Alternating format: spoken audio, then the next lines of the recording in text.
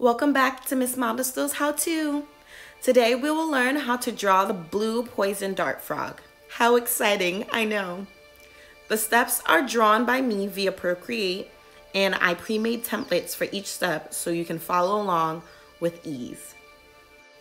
The steps I follow are from Drawing Wild Animals written by Oana Befort and Maggie Reinbold. Follow along as you learn some cool facts. Step 1. Start by drawing two ovals, a smaller one for the head and a larger one for the body.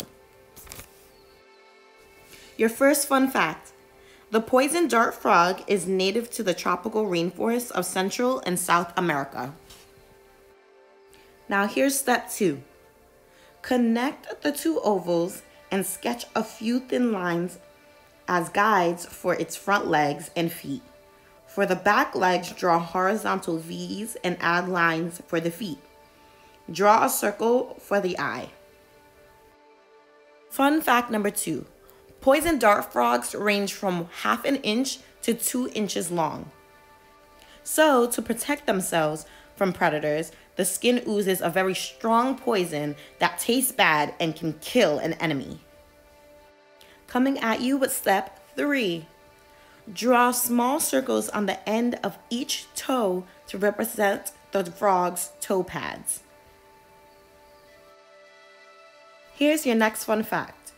Poison frogs come in all different colors. Yellow, gold, copper, red, green, blue, or black. To other animals, the colors mean, I am poisonous, so don't you even think about eating me.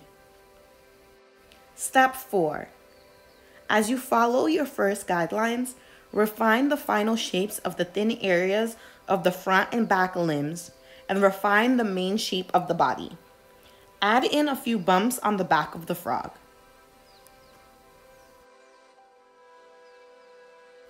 Most frog species are nocturnal, but poison frogs are active during the day when their brightly colored bodies can be best seen and avoided. Step 5. Draw a big oval for the eye and a curved line above it to define its structure. Draw another curved line to create the bump above the eye in the background, which is not visible. Finalize the lines that define the whole shape of the frog and add a few small dots as part of the texture of the skin.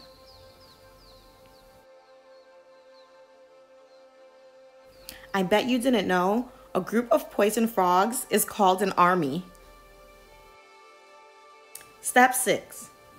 Now we'll go in and add some color with our first layer of blue.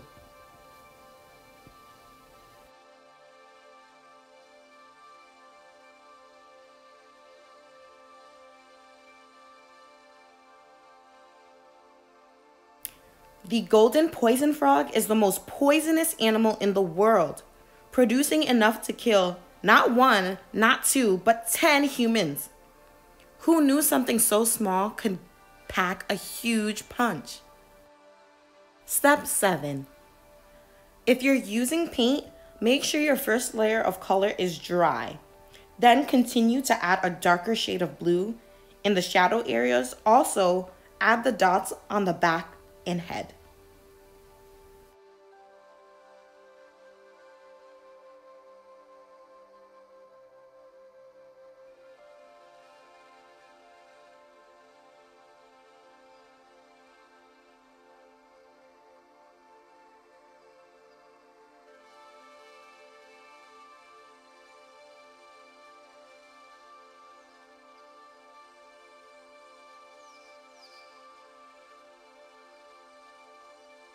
These little frogs' poison would be used to coat tips of blow darts in South America for hunting, which is where they got their name.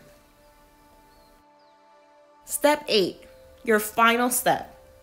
If you'd like to add an extra effect of texture and dimension, use some white paint or liquid whiteout to draw white dots along the body, head, and legs.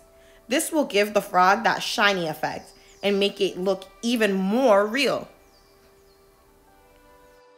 And there you have it. You just drew your blue poison dart frog. Give yourself a pat on the back. I hope you had fun and learned something new. Try to quiz yourself on some of the fun facts that you learned today.